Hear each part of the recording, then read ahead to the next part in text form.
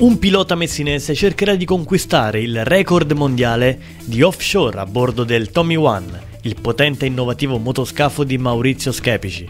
Fra il 28 e il 30 agosto, in base alle condizioni meteo, il pilota campione del mondo Endurance Gruppo 2 e vice campione del mondo Gruppo A alla guida del Tommy One lancerà la sfida per la conquista del nuovo record mondiale di offshore Messina Vulcano Messina di circa 80 miglia in meno di un'ora.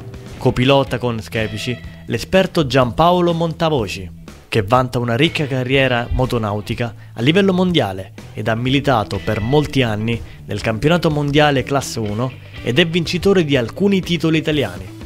L'imbarcazione con la quale Schepici tenterà il record mondiale è stata costruita nei cantieri Metamarine con strutture in Kevlar, PVC espanso ed ancora Kevlar. Nonostante le misure importanti, la barca è abbastanza leggera per la sua tipologia, circa 7.000 kg per una larghezza di 14,6 metri. Monta due motori Sitec biturbo diesel da 10.003 cilindrata cada uno, con uno sviluppo di circa 950 cavalli. Marcello Zanardi, team manager del Tommy Racing, sta curando la parte tecnica del record.